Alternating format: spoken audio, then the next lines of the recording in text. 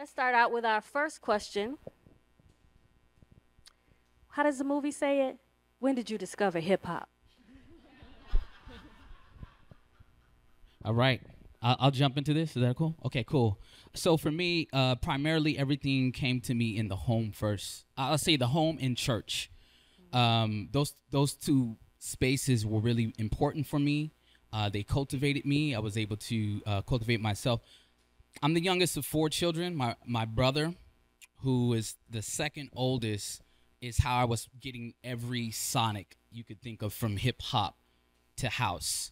Uh, my mom was the gospel and, and soul records, and we had a vinyl record, and so, um, so so there there goes the sounds right that I'm being exposed to. Um, the energy and the movement, the embodiment of it. Um, first was seeing it before I had words to speak, being raised in the church, seeing the elders catch the Holy Ghost, the Holy Spirit, right? Mm-hmm. And you know, one of those Church of God in Christ church, tongue talking, foot yes. stomping, hand clapping.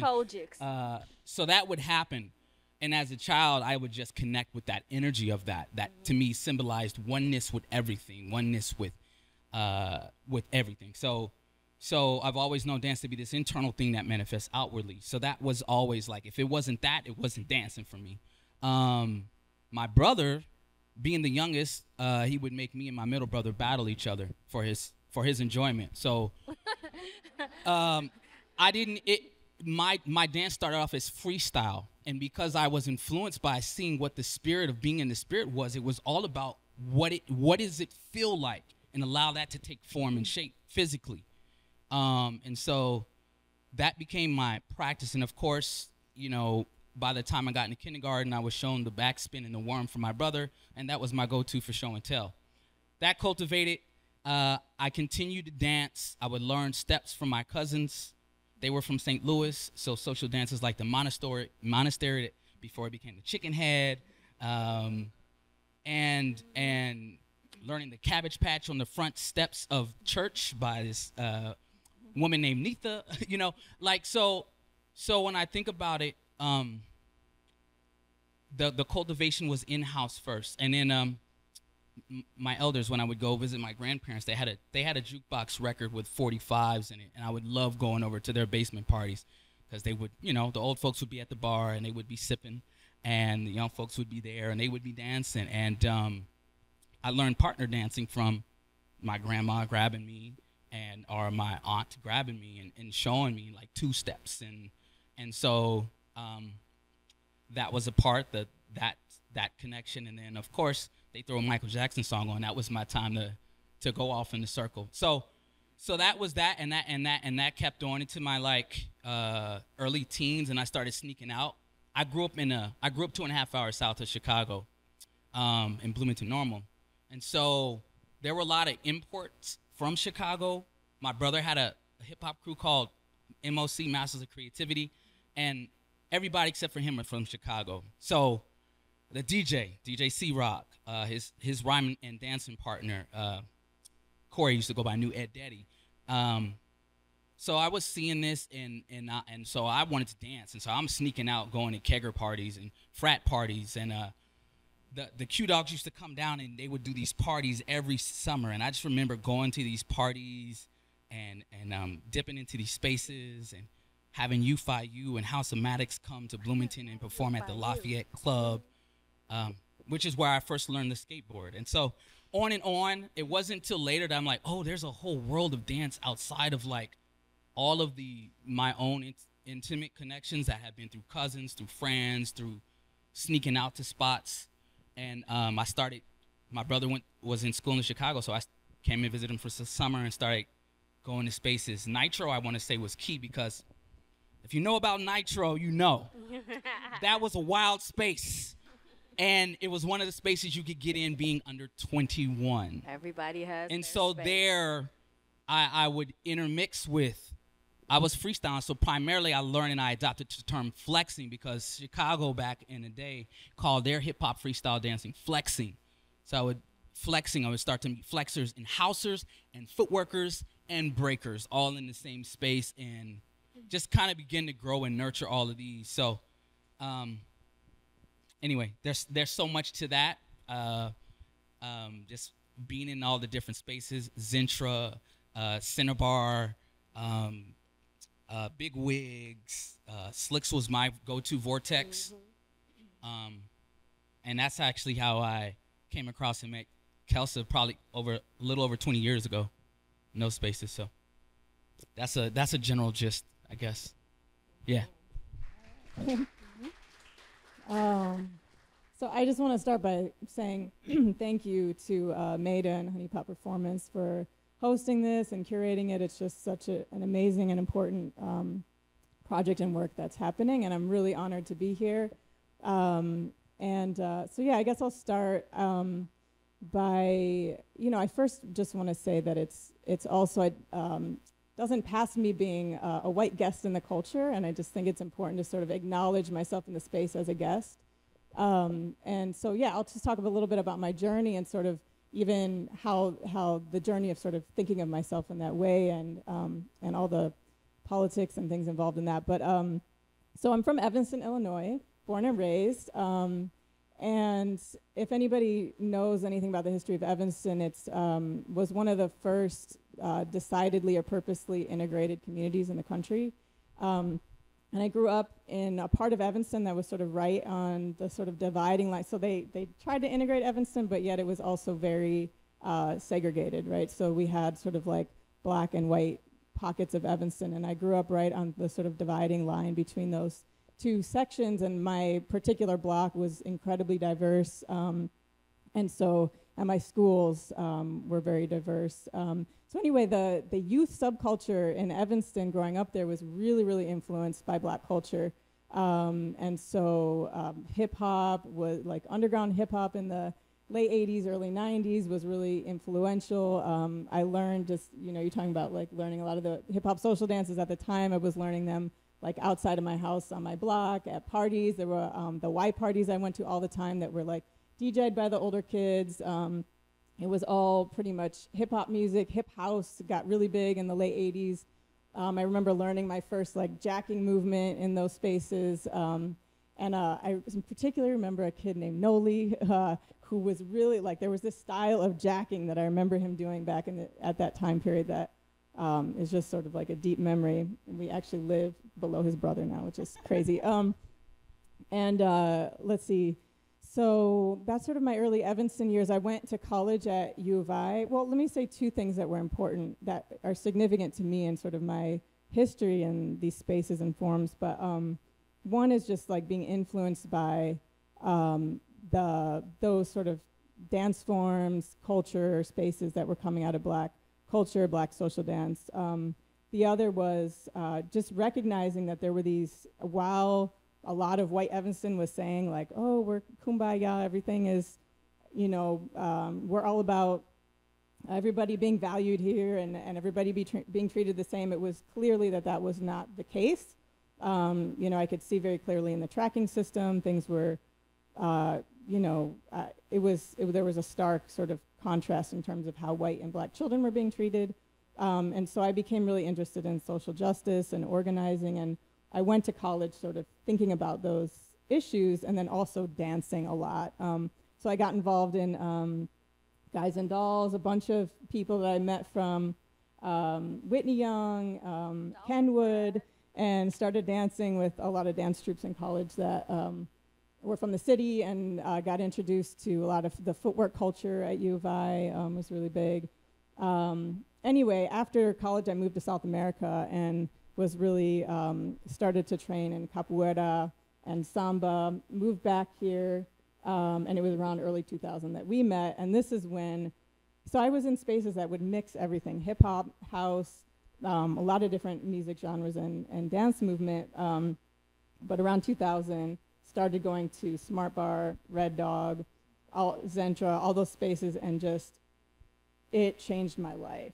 One of the big sort of impacts was not growing up with religion or spirituality and um, finding it in those spaces like really having my first experiences where you know nobody i didn't grow up with anybody being able to answer the question is god real and you know how do you connect with god and in those spaces i knew that God was real. I knew that things were coming through me in a way that was, um, thank you, that was um,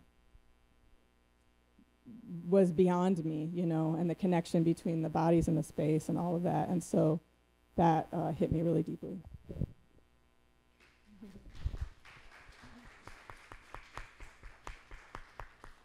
First of all, I have to acknowledge Dolphin Pride. And then um, we're going to move on to a, that very interesting story and very interesting journey. And I want to thank you for acknowledging your guest status in the space. Uh, appreciate that, but know that it's also, especially with dance, it's about your intention and your heart. And so um, we see that. The, the journey that the two of you have had is it encompasses some of everything. Um, both of you has, sp- has spoken about house and um, hip hop and breaking and uh, voguing and everything else all in the same space. Um, and that really has influenced the type and the style and the way of dance that you do. Um, can you speak to me about that? How that really influences what it is you do?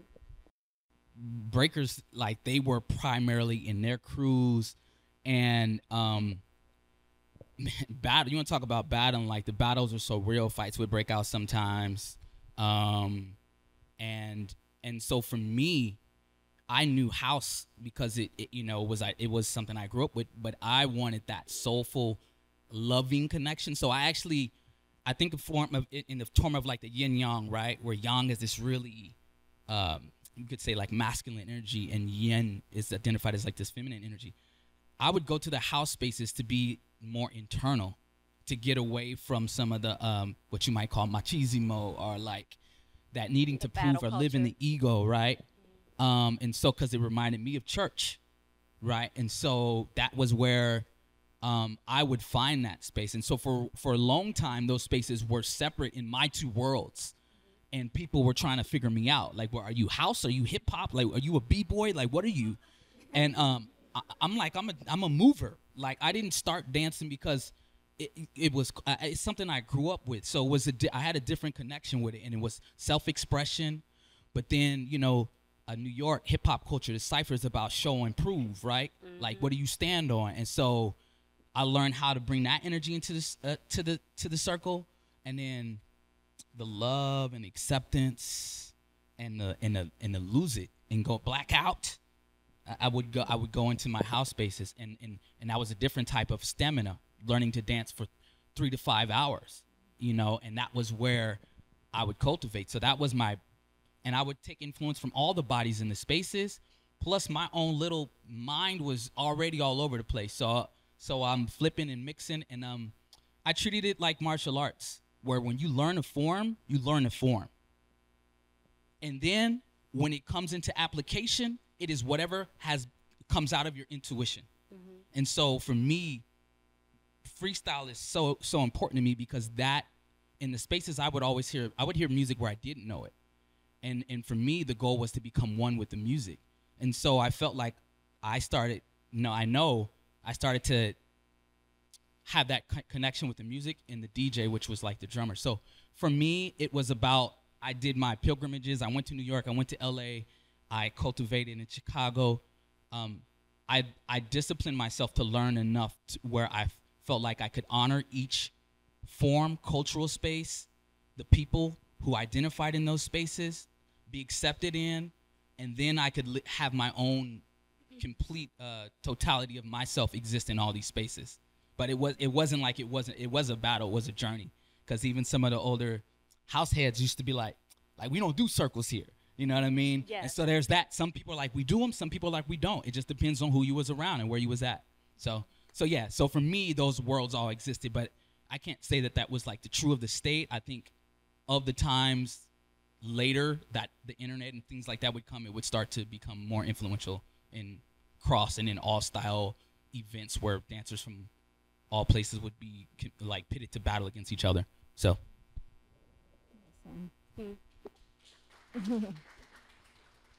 I see I see that in the way that you speak about your dance and that you know the names of all of your dance moves. That's you learning the form to me. But then your your freestyle, your self-expression is is your pres- presentation of it is is totally unique in you. It's sort of like a jazz approach to music. We learn everything and then get on the bandstand and improvise. Um, I see I see that in the way you speak about it. Um, Kelsey, you have a lot in your bio. There's a lot of studio. Not actually, not really. Yeah, I can talk about it about like the the bulk of my training. Um, so I did gymnastics, so that was definitely like a trained, you know, go to a space. And the kids used to make fun of me actually in my neighborhood because we would tumble on the street all the time, and they were like, "You take classes, you take lessons." Um, but um, but dance was primarily social, Social, first. Like I mhm. took, or I'm, um, you know, I learned like the hip hop social dances of the Mhm. time. Um, that was sort of my first entry into dancing. And then when I went to college, I I learned from dancers who were trained in studios, like the jo- the um, Whitney Young dancers, Guys and Dolls. So I I learned some Dunham technique from them. Um, that was sort of my first modern training. My uh, neighbor on the block, my first sort of like studio class was West African out of her um, backyard. She had a studio in her garage. Um, and then, but most of my dancing was always social. It was like in the parties, in the clubs. Mhm. Um, you know, but it, again, from all over. So like I, I did um, a lot of Latin dancing as well. But house was the space where I really started to. I felt one of the things that was so, I guess, significant for me was how I was able to pull all the parts of who I was into that space. It wasn't like you know that sort of you know. Uh, I actually, when I moved beyond and started, we'll talk about this a little bit more, but like got into the underground like set up battle scene. That's when I felt like I had to sort of call myself a house dancer. But in house, I found my identity because I didn't feel like it was structured in that way. It wasn't telling me you have to do these particular moves. You know, I was able to pull from everything, you know, that I had been doing. And I also appreciated the way that I could express myself in terms of feminine, masculine, you know, move between those kind of identities and not feel sort of lopped off um, in terms of a particular gender expression. Um, and I'll say one more thing that was really significant in the house spaces is that I had like um, an undiagnosed um, physical condition, like a systemic condition that caused a lot of pain and injury.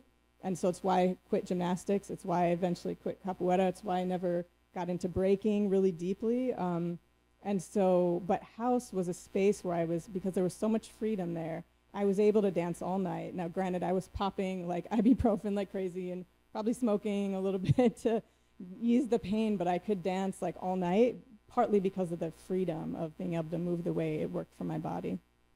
Hmm. Okay. Well, I think it's time now to see a bit of that freedom and structure that you guys meld together so well.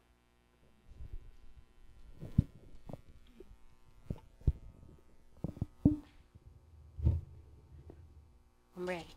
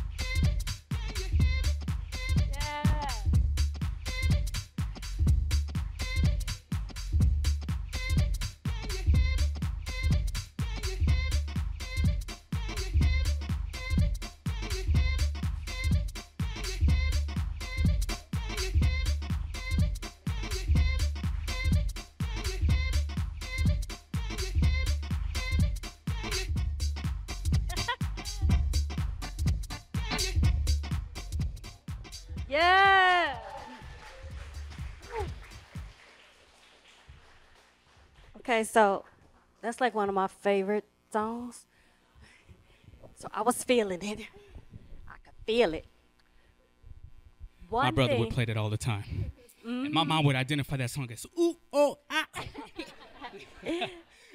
Yes, that that is the cut, Daze. Um, so one of the things I noticed as I was over here jacking with y'all is that I saw some of everything, as you do, but even the aesthetics of it, I saw partnering. I saw individual expression. I saw feeding off of one another, um, partnering sort of more in line with the stepping um, tradition or new bop. Excuse me, I learned my term. the new bop tradition. Um, you know, the freedom and the expression of the house, as you as you said, and then you know the breaking down in there. I did see some of everything, in the way that you guys meld that together is a sort of a different a, a different sight to see. It's sort of like the progression of all of the social dances, sort of like coming together. Not all of, but a lot of the social dances like coming together. Um, where you mentioned um, clubs and spaces, but like the worlds were separate.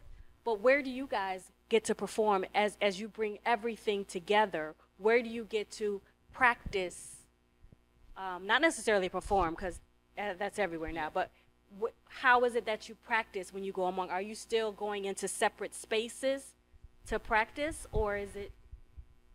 and well, any place I step, I'm gonna bring whatever it is. I'm gonna bring myself fully, but the music always to me dictates what's the vibe. I'm an energy sensitive person, so what's the vibe of the people?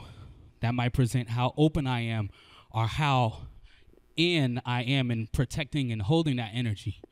Um, that I get a chance to vibe and warm out and get into my zone because if I do that, then I can be I can I can reach like a it's like a level up for me, right? So those things all determine um, how the dance comes out, and in in different spaces, it's going to show different. And you'll see when we get to the artifacts, like mine are particularly all videos and they're all different kind of spaces with different intentions. And so my movement comes out a little bit different in each one. Um, even this was like weird. Like i want y'all to be moving with us you know what i'm saying? And so i've always had to try to flip to go from uh, am i ciphering? Am i performing? Am i battling? Am i showcasing? Right? And i try to remove all of that because those are all like to me illusional constructs that we create to sell and market stuff in this capitalistic system. But if we can see the through line, what tethers all these together, they're all connected. What's the intention of the movement? So I let the music speak to this. And then that that that's gonna kind of, you know, whenever I'm there, if I'm too heady and I'm thinking about it, I'm gonna I'm gonna be off and I'm gonna be like, oh, I was off. So I'd rather just be open and let it flow. So I hope that helps. That answers. Yeah, I mean, I've always sort of had um, the the times that I felt like I have to practice outside of the club space, the party spaces. I just it's like pulling teeth. Like I'm not that interested, and I've just I come to just sort of accept that about myself that I have to go to those spaces to pr- to practice. You know, um, that's what moves me, and that's what then gives me inspiration to come back and then create, you know, if we're making a piece or something, to, to put it out on a stage, which again is a very different kind of a platform. And it does shift things. Teaching shifts things, but it's always going back to that space to be refueled, to remember what it's about, you know. I just want to add because I, be- I believe that as you do these things in your different spaces, it builds you in different ways. So for me, I think uh, battling, performing, ciphering, and teaching are all different kinds of energy, and they cu- they cultivate the whole. They cultivate the whole, um, and so even like I teach at Columbia as well, and um, freestyling, battling, those are all things that are part of the rites of passage for going through a course. It isn't about what's just in that studio, and oftentimes I say it all lives outside the studio. Studio is just a designated time and space we get to focus on specific aspects of it. Uh, yeah, and just uh, just I just want to lift up again about that connection, and and I just want to shout out to like uh, Jarvis. When I see him at a place, I'm like, yes, like ah, give me that energy, you know, like it, it lifts me up, it brings me joy. The times that I've gotten the honor to see Erica and Michael dance together, like oh, it just it like oh. Yes. So let's see some of that. Let's see.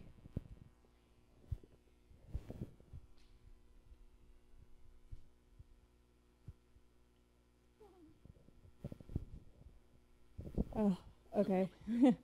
yeah, okay. so I'm really excited to be able to bring Desi's name into the space. So this is Des, uh, so Desmond Stewart, who back then was known as Desi Star, that's what we all called him.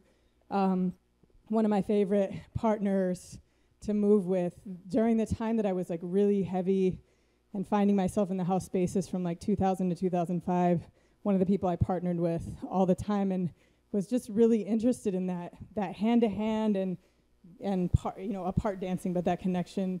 Uh, an amazing dancer. And that's just, this is that funky Buddha, uh, yeah. Pevin Everett night. You see the the congas in the back. Yeah, so we and Brave and I and Boogie and uh, Jason. And we used to come in and dance as part of Pevin Everett sets on Wednesday nights. This is so in this era, this time period, um, 2000. for the people that were really um, important and influential for me at the time. So that's Boogie McLaren in the back, who I also I heard in your bio, Jarvis. Like, I remember um, taking a class from Boogie at um, Old Town, and she was really influential, I think, to a lot of us in also seeing the the the intersection between the club spaces and, and other spaces that we could take it. So this was a performance that we did at a space called Chicago Soul House, Bravemonk, and then in the front that's Jason Yee, uh, otherwise known as House Mouse, who's originally from the East Coast and was one of the people that eventually, towards the end of that period, helped me realize that there was some other things going on with house as a movement form out in the world that was really eye-opening and interesting. That's another conversation. Yeah. Okay, so this leads into um, this is from a TV show called Hot Hot Wax. They were dedicated to underground, and they would do movement and visuals, and they would always have DJ. This is uh, DJ Fathom, and um, here you kind of get to see me go through a journey, and this is more like what it would be of me in a club. I'm open. I'm I'm having this connection with the DJ who is like the drummer, and the pulse, and so I move like my arms are free. I feel. Um, you know, this is what I would describe as more fluid movement. And uh, although this was, you know, this was filmed at a CAN TV set, um, this was 2005. And um, you can see I'm, re- I'm repping, I got a B-Boy Summit shirt on. B-Boy Summit is an event that used to happen out in Cali. And this was like the last one. And so I went to that. And so as the DJ goes low, and I haven't heard like I know this is because it's Pevin, so I kind of do know this, but I'm completely surrendering to the music, and so I want to let you catch this. You're gonna see some movements that also I identify as like Chicago aesthetic in here. So the bass start coming in, and automatically my chest is starting to move because I feel that in my bass, and so you see these hands, you see those hands coming. Um, that's very Chicago. But you see a lot of yeah, foot workers, y'all y'all do that. Y'all know what it is. Um, and then so as that pulse, as that heavy bass starts picking up, you're gonna start to see me go into more either footwork or jacking movement. And so now you see that bounce and that pulse um, lifting to me. And so this movement is kind of like what we did from the time I was young. I just remember my me and my brother doing this to house. Um, and so and um, yeah. Let me see. Here it comes. Don't. Here we go. Ish, I used to, I had some friends from the East Coast who would tell me like Chicago, y'all y'all are so bouncy. There we go. I'm like There we go. There we go. There we go. that. Right. And so, I didn't know a name for that. I just knew a feeling for it, and that's what would happen. Later on, I would come to say, "Oh, they do this in dance hall. It's called Pon de River." Okay. Is the Pond the So okay, we can go to the next clip. Uh, this is from a judge showcase. This is Bo- Boogie. This is a transfer of energy. This would also happen in the club. So you're gonna see the jack, and that's gonna rub off to me. This is 2011.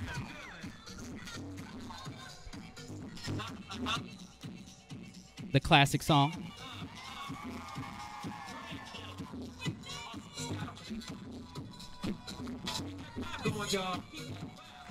And so this is something I used to do. This I've been doing since I was young. I called it praying to the heavens. Those are Zulu spins from breaking, but you'll see the influence of footwork right here. Uh, skating, because that also was an influence. So a lot of the slides. And y'all know what that is if you're from Chicago. Ex- exactly. I didn't need to say it. And so I'm in the music. Man of God's trying to get me to stop. And I'm still going. Watch, watch this.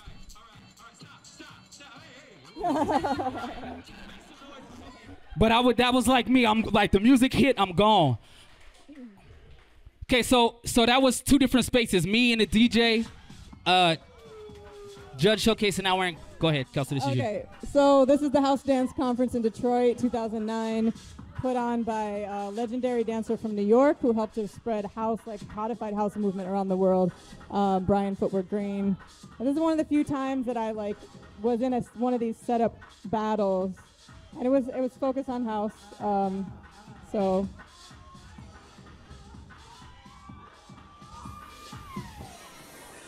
And the, the person that I'm battling on the other side, which he's an amazing dancer. His name is Kafani. He's from Detroit.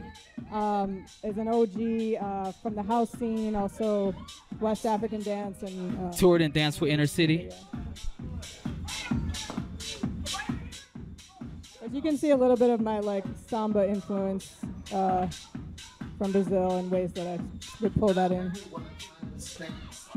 I was never really into the like. Well, I would say uh, one more thing. I'll say, I did with the um, sorry with the uh, sneaking out. I used to sneak out and go to Medusa's. Um, but the battles that I enjoyed were the ones that happened in the club, like against people that came in from other clubs. You know, things like that. Can we get that last clip? Okay, this is from a battle.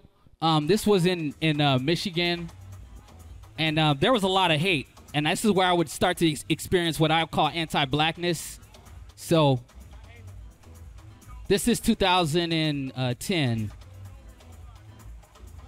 against a um, a guy who had just started, who I actually wound up losing this battle, and I was in my feelings about it, but it didn't. I didn't really lose. Um, in any case, I'm gonna let y'all see the movement. You'll see a lot of stuff coming through.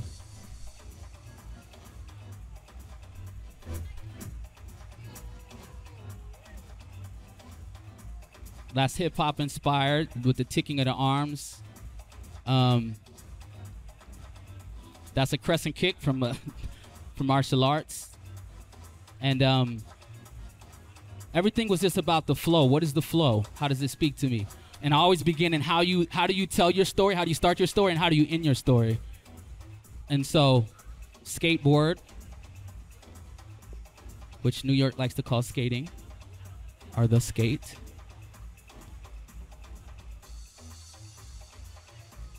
That's definitely Chicago, but that's my own take on it. And then you see this this kick, and um, one movement, the dolphin dive, right? And so, and anyway, in the competitions, it was different. Like you don't see the vibe. People are sitting down, lights. You got flashing lights, and you have to. I had to just really live in myself and let that energy show and say, I'm, I don't care. I don't care whether I win or lose. So anyway, Yeah, that that's that's something that um, I'm noticing about how house has um, progressed as it's joined the mainstream. Like the the energy and the feeling of being surrounded by people who are all jacking to the beat and holding each other up and and and feeling it together is kind of going to the wayside as we move into these competition and teaching and dance battle spaces um, where you know everybody's more concerned about the actual movement and the accuracy, so to speak, of it than the feeling of it. Um, so I don't know. Tried to not put so much of how I feel into that, but um, it's it's just how I see how it's it's changing a bit, um, and that and that is uh, I think something of it being moved into the mainstream, which is something that's happening to several of the dance forms that we're we're talking about today. They're moving into the mainstream and are changing a little bit. So I'd like to uh, say thank you. Can I get two cents on that though? Oh, sure. Go. Sure, I'm sorry. Just because I always feel like it's always it's a conversation. Everything is a conversation, right? Even the even that is a conversation, but then it's about who's holding the space, who is benefiting from the space. I think those are like the deeper questions. Um because uh, exposure can can be a really good thing. I think it's how it's done, how it's handled, how it's crafted. So there are instances where I do see it uh, being facilitated in a way that feels uh, more organic and natural. But um, you have all the spaces to exist in, and I think find the ones that speak to you. Speak to- Yeah. mhm. Definitely. And on that note, which was the best note to leave on, we're going to say thank you to Brave and K Rock